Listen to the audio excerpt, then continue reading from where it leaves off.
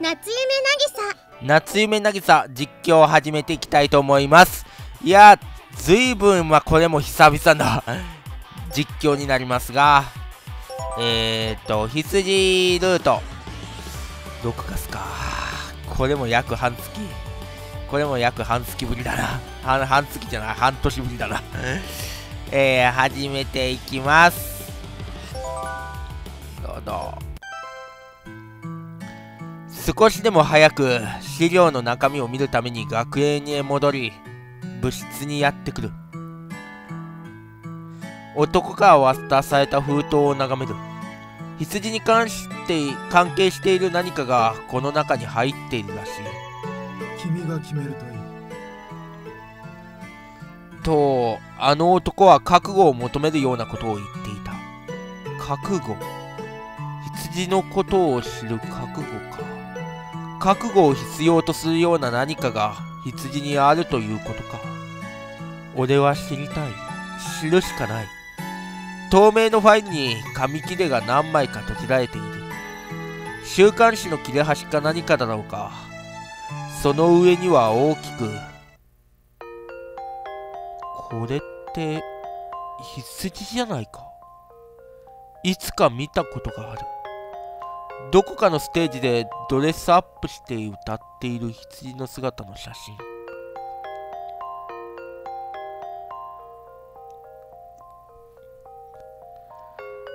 センセーショナルに記された文字を追っていく。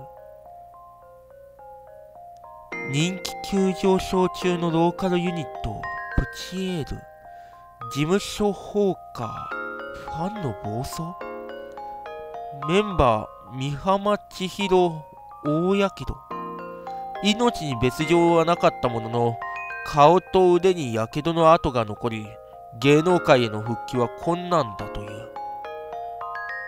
火事で大やけど。これが羊のことだっていうのか。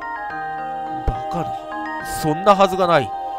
やけどなんて羊の顔にも体にもそんな痕跡はどこにもなかったはず。そもそもあの天真爛漫な羊の過去にそんなむごい事件があったなんて想像できないいや本当になかったんだろうか思えば俺は羊の素性も知らず、過去も知らず。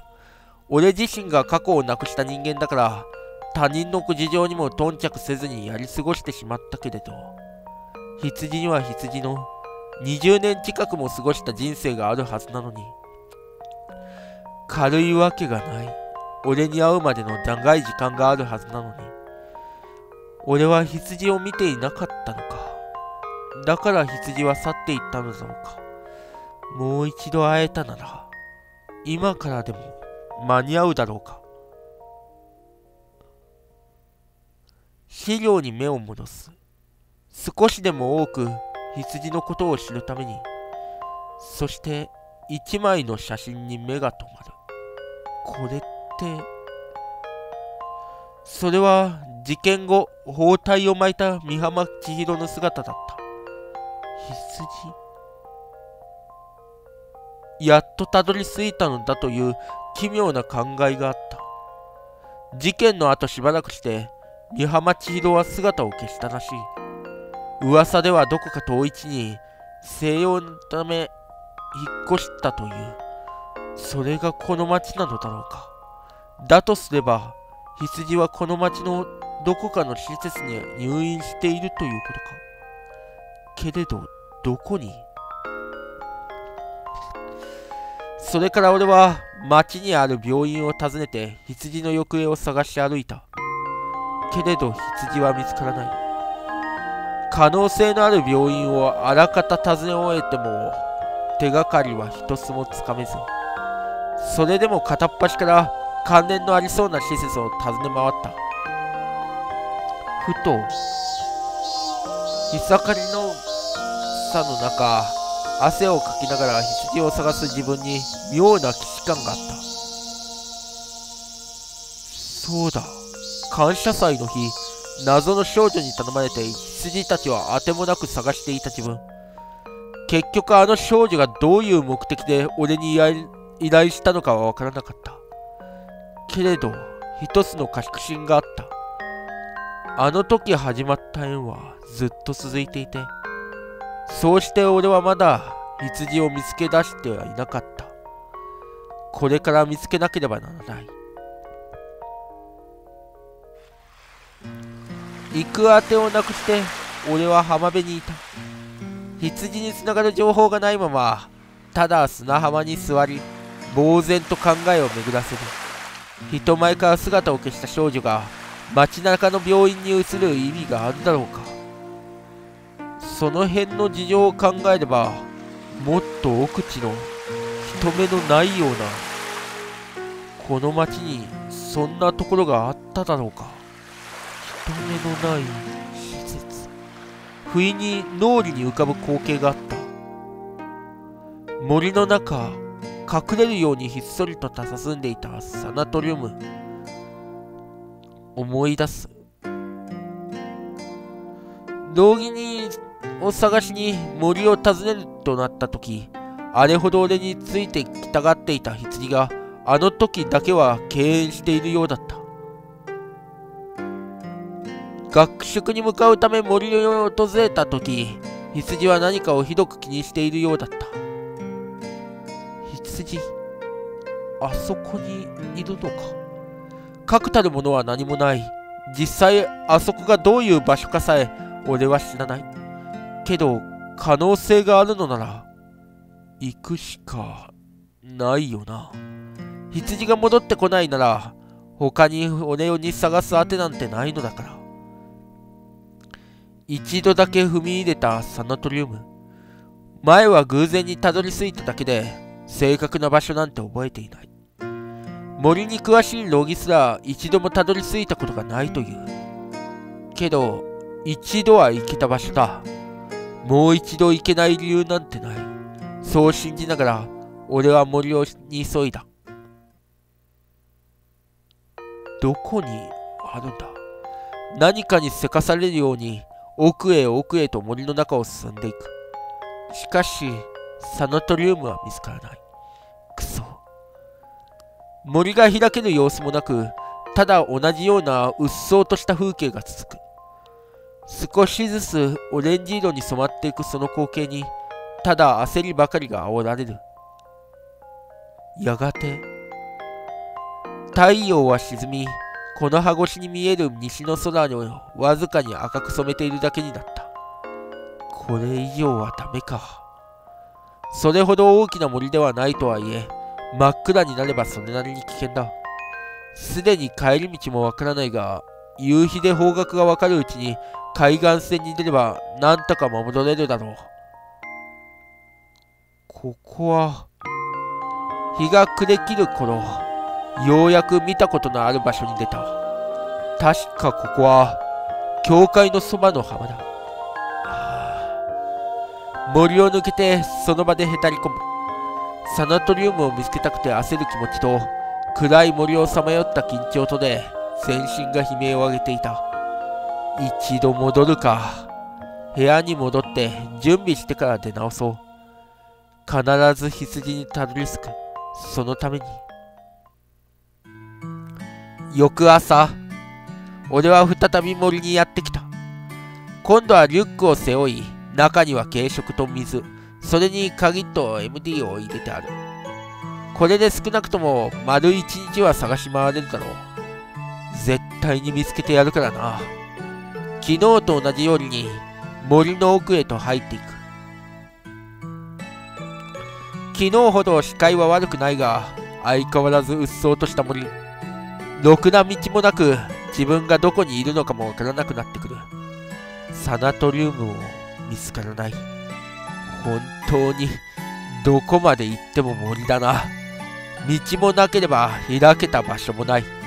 ただ足場の悪い地面と草木ばかり。朝だということはわかるが深い木々に覆われた森はどこか薄暗く。どうなってんだよこの森は。昨日と同じ結末になってしまいそうで時間が経つにつれて焦りは少しずつ増していった。そのうち森にも昼がやってきた。木々の隙間に見える太陽は高く空腹をつか空腹を疲れを感じる。仕方ない。一度この辺りで座れる場所を探して休憩を。あれ？渚くんじゃないか。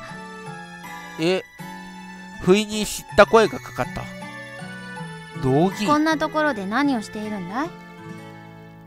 背中に背負ったリュックを見ながら道着は機嫌す怪げそうに小さく首をかしげる。疑問に思うのも当然か。サナトリウムを探してるんだ。この森の中にあるはずの。そういえば以前も君はそんな建物あ飛ばしてしまった飛ばしてしまった。そういえば以前も君はそんな建物があるって言ってたね。ああ場所知らないよな。残念だけどあの後調べてみたけどそんな建物は見つからなかったよ。やっぱりあれは君の勘違いなんじゃないか？さあな。けど俺はそこに行かなくちゃならないんだ。それはもしかして羊くんのことと関係してるのかな？少し神妙などこか同情するような調子で道着が言う。道着は俺と羊のことを知っているようだ。保健医から話を聞いたのか単に俺の様子を見れば一目瞭然なのか。まあ僕じゃ男女のことなんて何もアドバイスはできないけどテント道具なんか置きっぱなしだから自由に使ってくれていいよ。いいのか？僕のフィールドワークはとりあえず終了したからね。しばらく森には来ないと思うし。そのまま置いていくんだからということか。サンキュー。そうさせてもらうよ。ここは素直に甘えさせてもらおう。ああそうだ。これも必要なら使ってくれバッグのサイドポケットから厚紙を取り出して広げる道着森の地図か。フィールドワークのついでに以前の地図を改良してね。前よりも詳細になったと思うよ。助かるよ本当に。心から道着に感謝する。僕はうちにいるけど何かあったら遠慮なく頼ってくれると嬉しいね。ああサンキュー。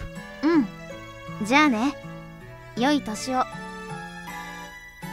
ああ道着もな小さく手を振って道着は森の中へと消えていった道着の帰り道は心配するまでもないか改めて地図を眺めてみる境界周辺含め道着はあらかたマッピングを終わらせていた細い経路に地形の説明など全域にわたって細かいメモが記されているそれでも不思議と道着があのサあのサナトリウムに至ったことはないらしい。一体俺はどうやってたどり着いたんだろう。結局日中歩き回っても成果はなく夜になった。部屋に戻る時間も惜しいのでありがたく道着のキャンプを使わせてもらうことにする。テントの中には水や保存食も残っていてまだ探し回ることができそうではあるが、はあ。横になり体を休めながら俺は途方に暮れるばかりだった。明日からどうやって探せばいいのやら。やみくもに歩き回るしか手段はないのかもしれないが。本当にあの場所はあったんだろうか。思い出そうとするたびにあの時の光景が夢のようにぼやけていくようだった。いや探すしかないよな。とにかく俺は俺でこの森を端から端まで歩いてみよう。キャンプを張って朝から晩まで森を歩き回り道着の地図のおかげで遭難することこそなかったが何一つサナトリウムに至る手がかりもないまま2日が過ぎた。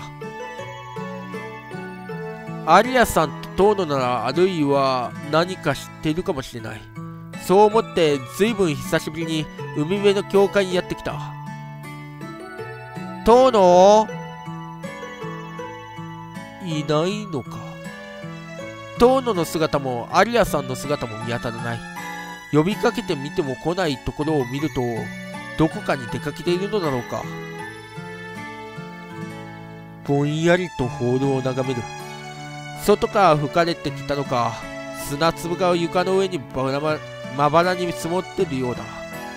なんとなくここから人の生活が絶えしばらくの時間が過ぎたような。そんなわしさが漂っているようだ。あるいは年末ということで実家に戻ったんだろうか。だとしたらしばらくはここに来ても無駄か。森に入ってから何日経過しただろう。日にちの感覚がおぼろげになっていく。道着が残してくれた保存食で食いつなぎながらテントの中で横になる。旦戻ろうか。何度かそう思いつつも森を出る気になれなかった。ただ森をさまようだけだとそのことで少しずつ羊に近づって近づけているような気がしていた。そして今町に帰ったら全てが振り出しに戻るような気がして迷う。に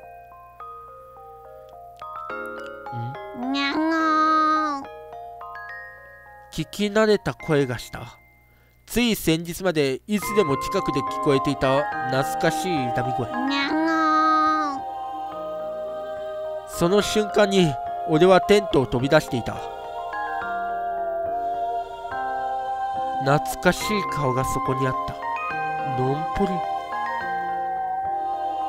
外に立っていたのは確かにのんぽりだと思うのだがお前その傷は顔を半分深い傷跡が伺えた。もしかしてお前のんぽりの双子ってやつか？事故にあった。いや違う。一緒に過ごした仲だ。見間違える見違えるはずがない。こいつはのんぽりでそして俺がいつか助けた猫ものんぽりだった。羊が去りのんぽりだけが帰ってきた。傷顔に傷跡が残した姿で。のんぽりお前羊の場所を知ってるのか？連れて行ってくれないか？のんぽりはただじっとこちらを見上げている。どこか俺を観察しているみたいだった。羊に会いたい。そして話したい。俺はまだあいつに何もしてやれないっていないから。猫を相手に俺は何をしているんだろうと思いながら語りかけずにはいられなかった。のんぽりが唯一羊につながる絆に思えてしがみつかずにはいられない。頼む。やがてのんぽりが体を起こして歩き出す。少し進むと立ち止まってちらりとこちらを振り返る。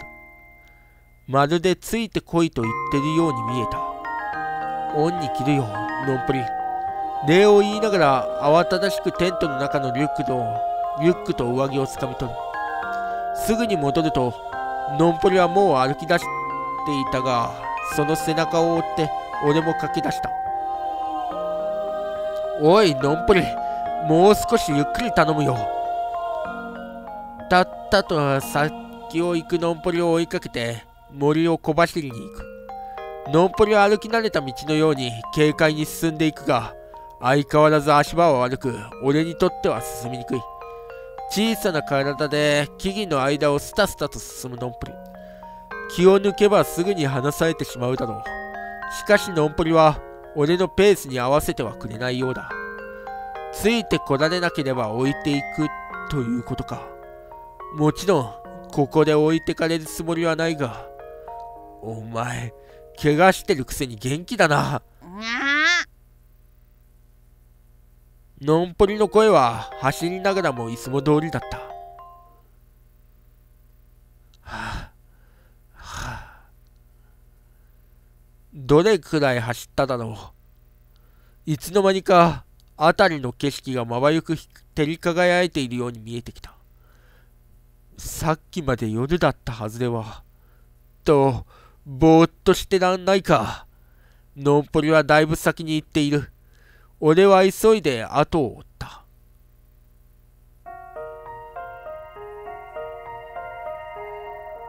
森の中、隠れるように建てられたと。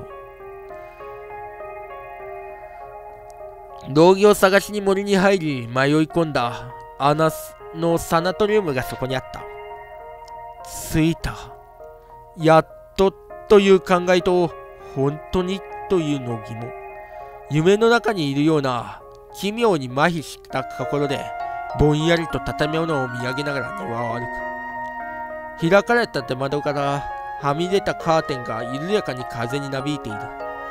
しかし、やはり人の姿はない。ふと、庭の向こうから何かが聞こえてきた。猫？にゃーにゃーと何匹かの猫の声が重なって響いてくる。にゃーにゃー、にゃーにゃー。そして猫の鳴き声に混じって、かすかに誰かの声が聞こえてきた。聞き間違え、聞き違えるはずがない。その声。心臓が総称のようになるのを感じながら、ゆっくりと方は進む。建物の横手、敷地に張り出た茂みが多く影を落とした一角。そこに、四五匹のさまざまな猫と少女の姿があった。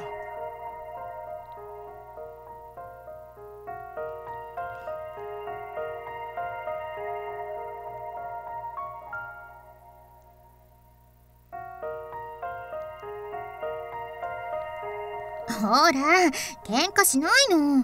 仲良くしなさいってば。ああ。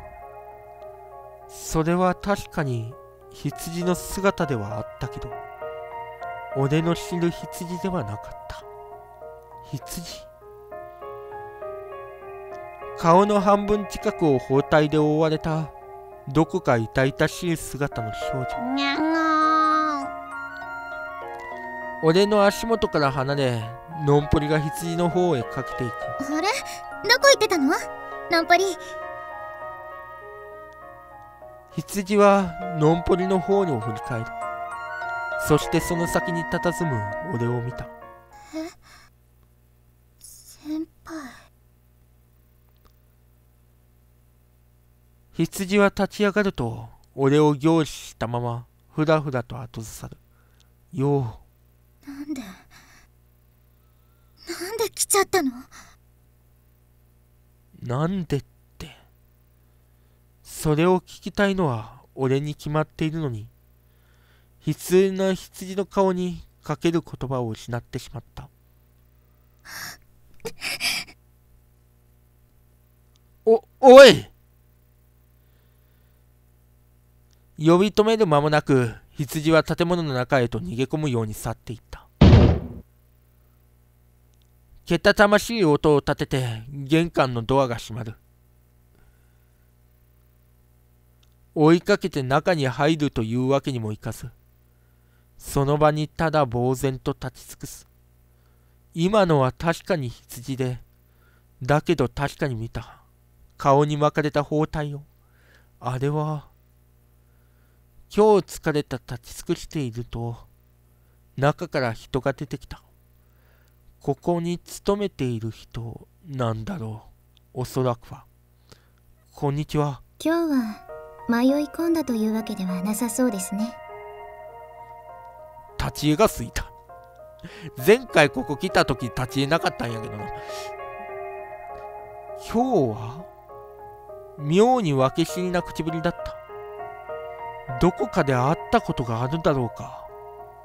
いや見たことのない顔だと思うけど。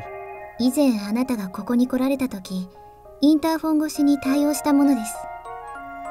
あインターフォン越しだったんだ。インターフォン越しでそういえば確かそんなことがあったな。ええ。中からあなたのお姿は拝見しておりましたので。ああそうでしたか？どこかにカメラでもついていたのか？それであなたは？申し遅れました。私はこのサナトリウムスタッフの有田と言います。あえっと俺は郡山伊豆渚です。会釈を返す。顔を上げと有田さんは何か考え込むような仕草を見せた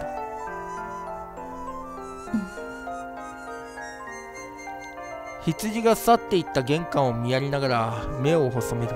美浜さんに会いに来たんですか？そうなんですが。失礼ですが彼女とはどのような関係でしょう？恋人です。だと思う。まだ。うん。俺の答えに有田さんは少しだけ意外そうに眉を潜めたようだそして少し目をうかがすすむかせながら沈黙して考え込んでいる。いきなり現れた羊の恋人という男をどう扱ったものか迷っているのか。あるいはもっとべもっと別のことを考えているようにも見える。しばらく黙ったままの有田さんにこちらから尋ねてみることにする。羊ははい。一体なんでここにあの傷のせいですか？まあそういうことになるんでしょうね。元をたどれば。あやふやに職員はうなずいた。そして療療養所を見上げながらゆっくりと思い出すように話す。美浜さんがいらしたのは確か初夏の頃でしたか火事で顔と腕に火傷を負ったとか痛ましいことです。やけどそうなのか。あの記事に書かれていたことは真実でそしてあれは羊のことで。おや？初耳でしたか？あいや初耳も何もわからないことだらけだとは言うわけにはいかない思い詰める俺を見やりながら有田さんはどこか声顔で話を続ける治療は済んでいましたし身体機能に後遺症が残っているということもありませんでした。ただやけど跡はどうしようもなかったようです。ここに来るまでにそのことで辛い思いをしたのかもしれません。院長にも私にも全く心を開かずに猫を相手にするばかりでして。事情はおおよそ親族の方から聞いてましたからそっとしておくのがいいだろうと私も院長も思っていたのですが彼女ある朝失踪してしまったのです。失踪？あれは感謝祭の翌々日ですから11月の26日ですね。会いたい人がいます。会う資格ができたから少しでもその人のそばにいたいから。ここを出ます。きっと。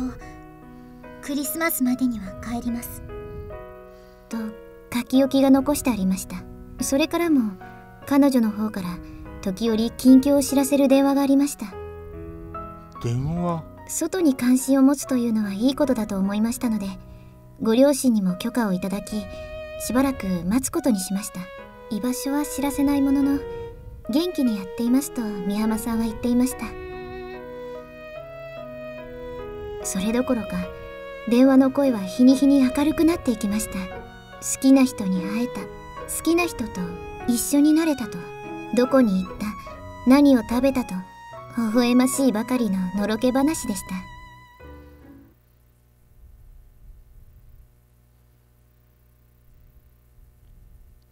有田さんは俺の様子を伺いながらやがてため息をつくようにして笑った。あなたのことなんでしょそうなんだろう。それは確かに俺なんだろう。しかし美浜さんはここに戻ってきた。見たところあなたに黙って。どういうことでしょう？聞きながら有田さんの表情が険しくなった。俺にもわかりません。何も。羊と話をさせてもらえませんか？スタッフとして患者が拒否する人間を招き入れるわけにはいきません。ただ顔をしかめる俺を制するように職員は続ける。この場所にあなたがたどり着いた。確かな目的を持って。一日待ってもらえますか？また明日来ていただけるなら力になれるかもしれません。本当ですか？お約束はできませんが私のできる限りのことはさせていただきましょう。何度だって来ます？だからよろしくお願いします。え？頭を下げてその場を後にしながら立ち立ち止まり建物を見上げるあそこに並ぶ部屋のどこかに羊がいるんだろうか。気のせいか視線を感じたような気がして眺め続けるがやはり窓の向こうから誰かが顔を覗かせることはなかった。とまあ本日の実況ここまでにしたいと思います。ご視聴ありがとうございました。